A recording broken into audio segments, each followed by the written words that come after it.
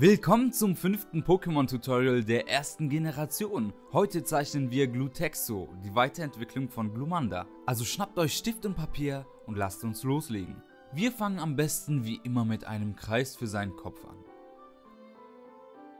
Darunter mache ich einen kleinen Strich für seinen Hals. Dann zeichnen wir ein Oval, das in etwa doppelt so groß wie der Kopf ist. Jetzt zeichnen wir die Guidelines auf den Kreis um das Gesicht besser zu platzieren. Unter der horizontalen Linie zeichnen wir erneut einen kleinen Kreis für sein Maul. In der Mitte des großen Kreises auf der horizontalen Linie zeichnen wir ein Dreieck für sein Auge. Der vorgezeichnete Kreis hilft uns die Form besser zu bearbeiten.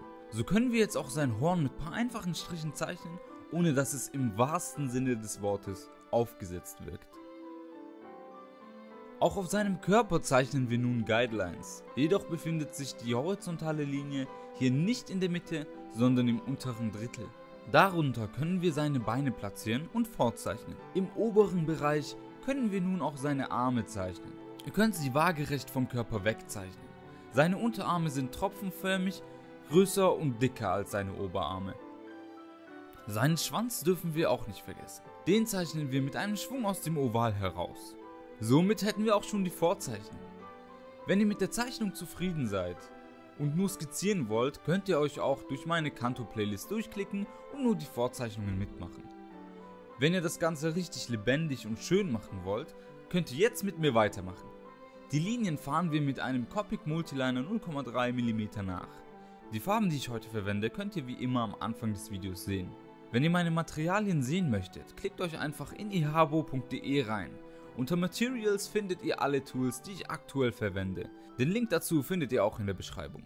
Es ist ja immer interessant, wie sich die Darstellung mancher Pokémon im Laufe der Zeit verändert hat. Mir gefallen zum Beispiel die alten Zeichnungen von den Pokémon besonders gut. Diesen Aquarellstil, wie ihr jetzt hier an einem Beispiel von Glutexo sehen könnt. Schade aber, dass es nicht mehr so umgesetzt wird. Das war eine Zeit, in der Artworks wirklich besser als die Figuren im Spiel waren. Zu einer Zeit, in der das Cover noch zu viel versprach. In der ersten Generation sah es aus, als hätte Glutexo einfach ein Horn auf dem Hinterkopf. Und ein bisschen übergewichtig im Vergleich zur Zeichnung wirkte er auch. Ist euch irgendwas im Laufe der Zeit aufgefallen? Es muss nicht die älteste Generation sein. Irgendwas, was ihr mal gespielt habt und im Vergleich ein bisschen anders war oder anders als ihr erwartet hattet. Vielleicht fandet ihr das sogar witzig oder traurig. Schreibt mir das in die Kommentare. Wir machen ja das alles jetzt farbig und damit die Schattierung nicht zu rot ausfällt, verwende ich hier einen Braunton, um die Schattenseiten von Glutexo zu bemalen.